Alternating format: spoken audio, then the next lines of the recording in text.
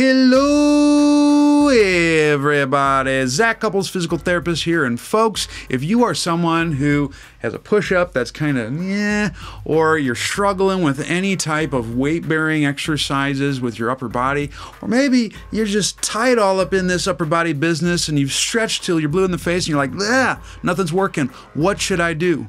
Well, folks, your boy, Notorious ZAC, has got a drill for you. Enter the quadruped hold. Yes, folks, quadruped is one of those fundamental positions that I teach a lot of my Supreme clientele in order to prep them to perform upper body weight bearing exercises effectively. If movement was music, quadruped is kind of like learning the musical scales on your way to bossing up playing Stairway to Push Up Heaven, if you know what I'm sizzling.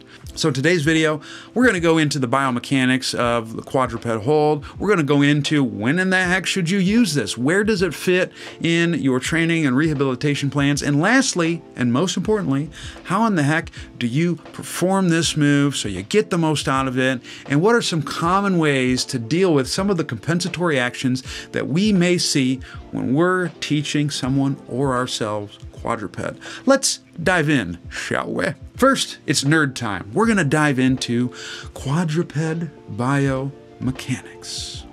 You might be thinking, Zac, we're on freaking hands and knees. How complicated do we have to make this activity? And I get it. Quadruped hold doesn't seem like it's doing a whole lot, but if you can truly grasp the biomechanics behind this activity, it's really going to up your upper body weight bearing activity game.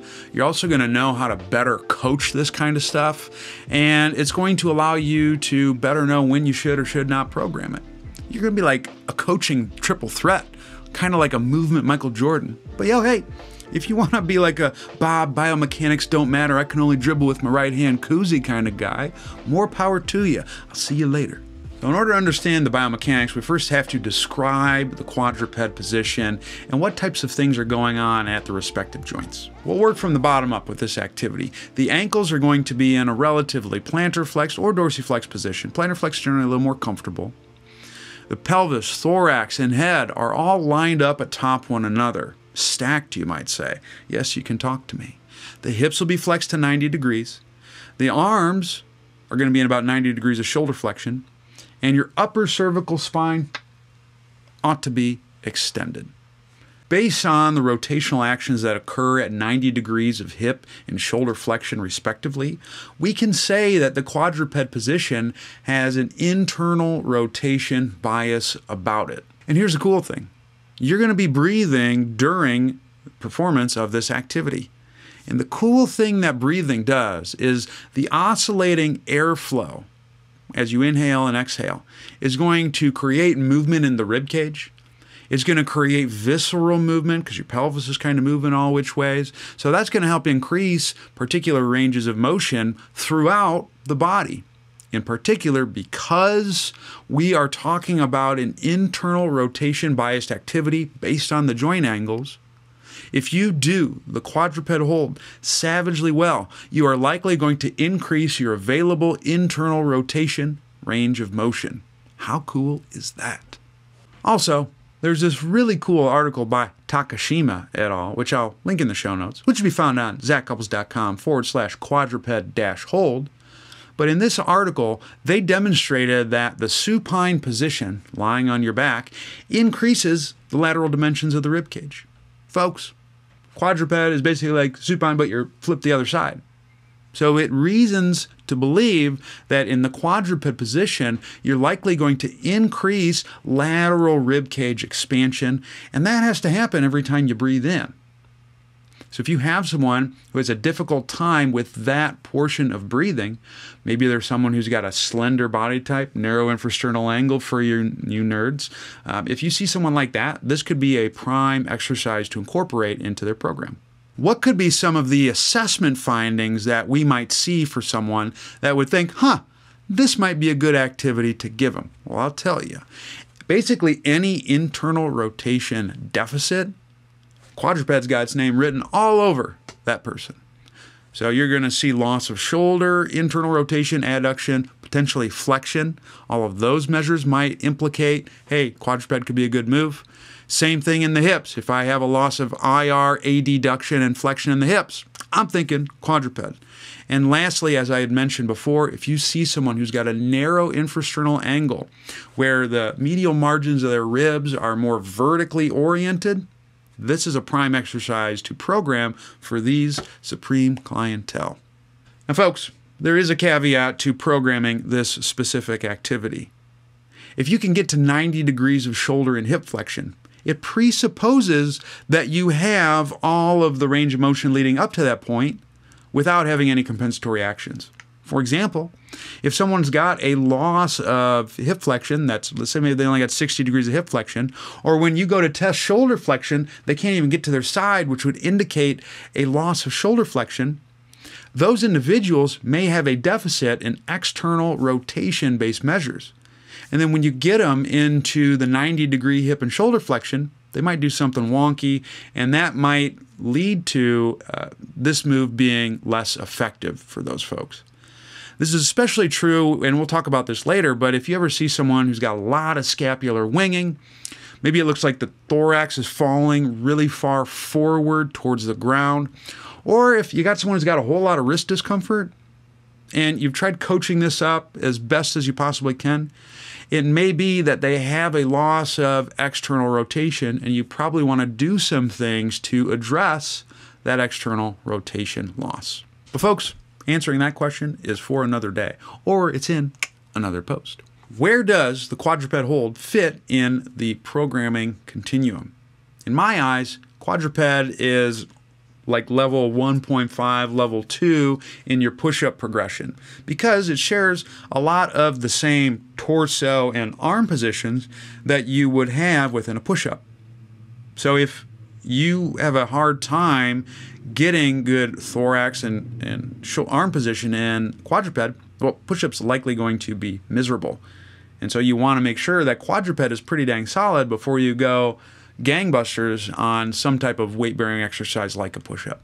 And the reason why quadruped is a bit easier than a push up is because there's more body points contacting the ground, there's less body weight going through the upper body, and it's more evenly distributed between your arms and your legs.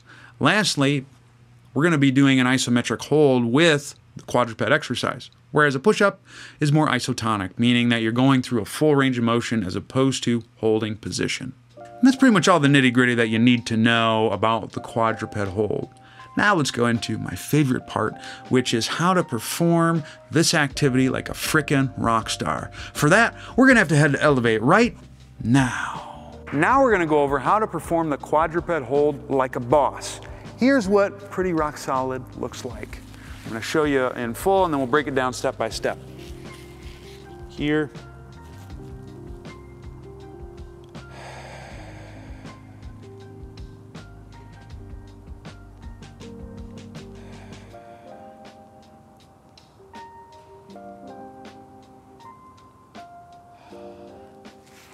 I'd say that was pretty good.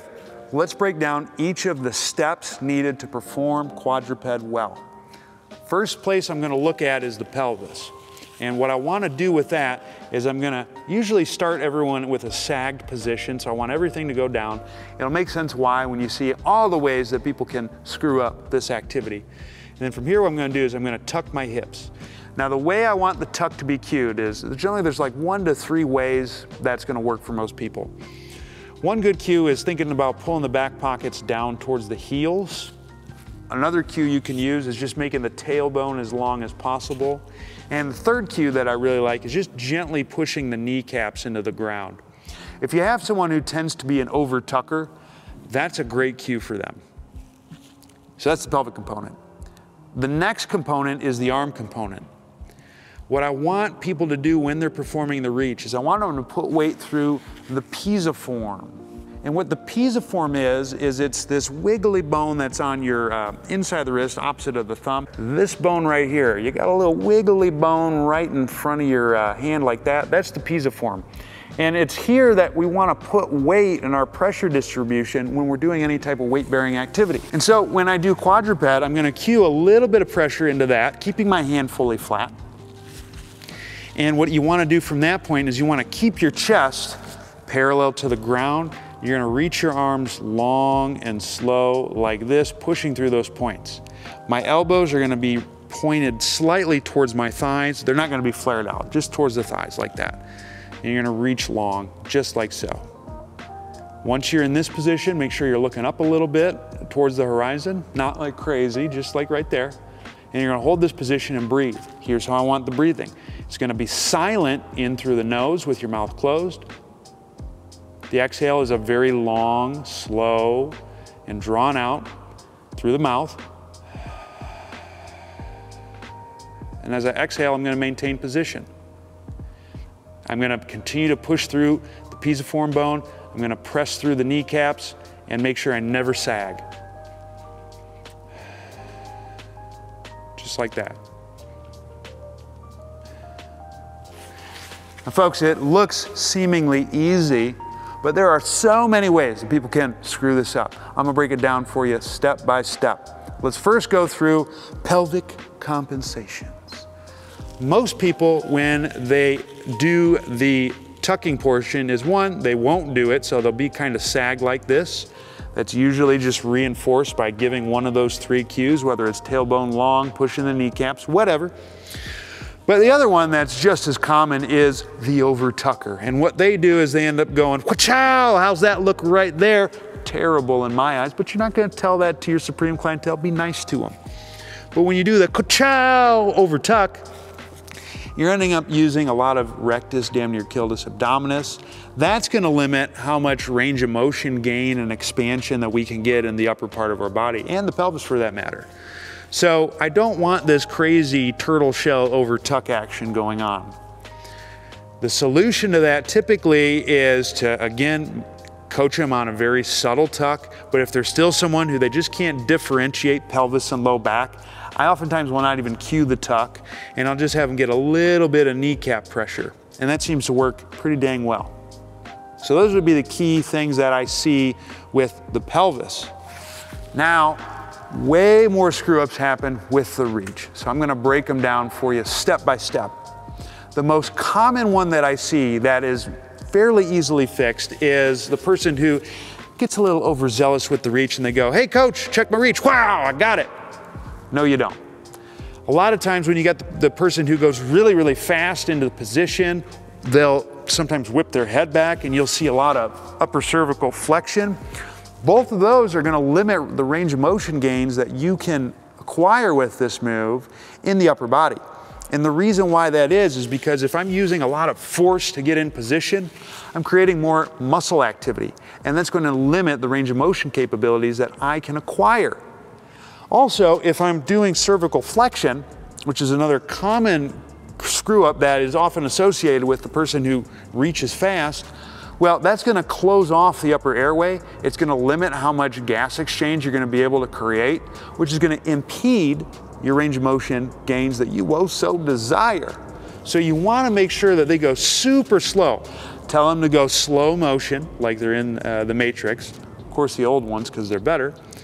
But nice and slow on the reach and subtle. That usually fixes that. If you still notice that they're trying to create the reach with their neck somehow, I would cue them to untuck their chin, look up a little bit with their eyes to the horizon, and move slow. Those will often fix those very common screw ups that you'll see with this particular move. Now, that's the most common reach ailment that you'll be able to fix with just those cues. But there's a few others that are a little more challenging. The first one that I want to go over is the, uh, the turtle reacher. And the turtle reacher is often paired with the over tucker. What they're going to do is they're going to bend the sternum and they're going to go, hey, how's this look? And they're going to look like a turtle shell. Folks, I love me some Ninja Turtles, but I do not love me the turtle shell when it comes to quadruped holds. And the reason why that is, is because if I'm crunching like this, it's going to limit how much expansion and range of motion changes I'll be able to get in the front of the chest. That's going to negatively impact your ability to get internal rotation, AKA not cool. So we want to try to make this cool. A lot of times you can fix that by encouraging the chest to be parallel and moving nice and slow, just like that. Now, that doesn't work for everyone, of course. So I'm gonna show you some other variations that you could do with quadruped holds to see if that improves. One easy one, if the slow reach doesn't work, is you could also go with a slightly wider stance. So when I do the wider stance, what I'm doing is instead of having my hands and shoulders stacked atop one another, I might go just a little wider than uh, shoulder width apart. And what that's gonna do is it's gonna make it harder for me to engage my pecs on the reach, just like that.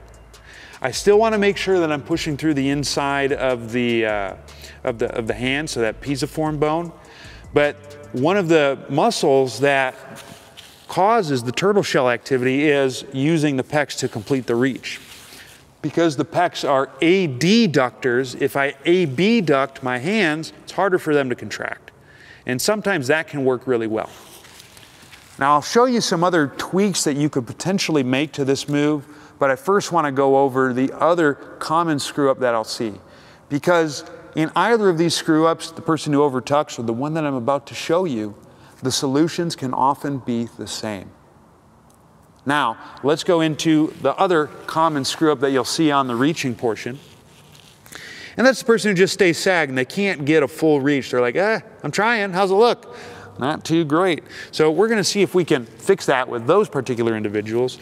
Specific to that population, one tweak that you can do is just simply manually assist them to get into position. Now, if you're working with a female, you're not going to put your hands on their chest. Rule number one, don't get sued. But you, you could simply just put a manual cue in the upper back, say, hey, push, push, push, push, push, and see if that helps. But if that doesn't help, then you probably got to phone in some friends to help with this particular activity.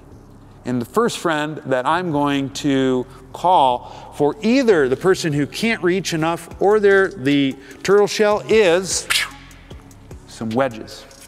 I'm going to use these uh, squat wedges that are made by my boy Eric. Link in the description below if you want to get yourself some. But what you're going to do with the wedges is you're still going to um, get the same hand cue that you had with the other variations. It just makes it a little bit easier. And the reason why the wedges make it easier is because your wrist is in a more flexed position. If your wrist is in more of a flexed position, that promotes more external rotation through the arm.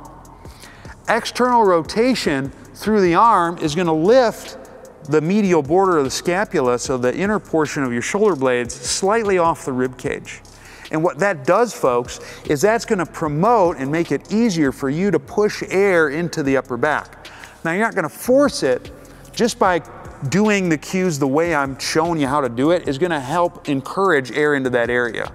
And if I can push more air into the upper part of the back, that helps fill the, the, the uh, rib cage into the scapula because your scapula is rounded just like this. Breathing and pushing the ribs backwards will help fill that so that way you're not the person who sags too much or the person who crunches too much. Wedges can work really well in that regard. It's also a nice uh, tool to use if you're someone who gets a lot of wrist discomfort when you're in the quadruped position.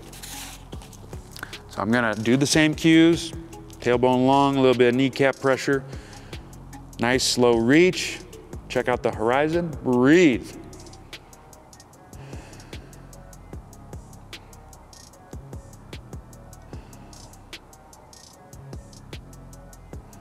Now folks, sometimes the wedges aren't enough. Maybe the position that you're using is still too challenging for a person to get a full reach or they're cheating by doing the turtle shell. What do you do then? Simple. You might consider elevating the surface. Yes, folks, elevating the surface can be a very easy way to help someone who tends to be crunching too much when they're performing quadruped, or they're the person who sags and can't reach. It's just like a push-up. If you got someone whose push-up from the floor is whack, you can make it much easier by having them do so on an inclined surface. The same rules are going to apply to the quadruped hold. And so I'm going to use my same cues. Tailbone's going to get long, a little pressure through the kneecaps. I'm pushing through the pisiform, checking out the horizon with my eyes. What's up with that? And breathing.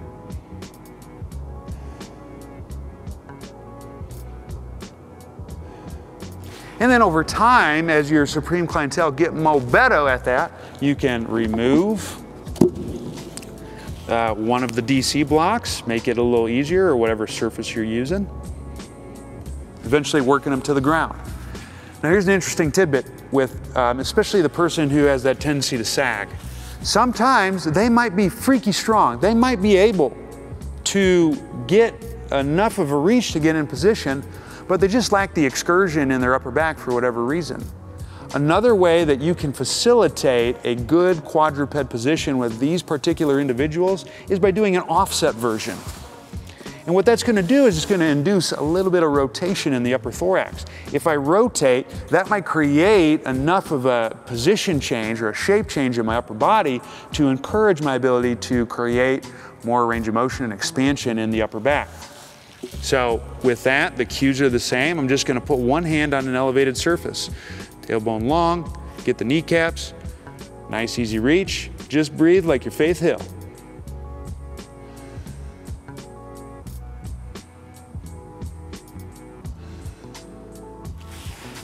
And those are some common ways that you can tweak the quadruped hold to get more out of it, especially if you're someone who deals with some of those screw ups that we see and you're doing your best efforts to coach them out of that into a better position. You just can't.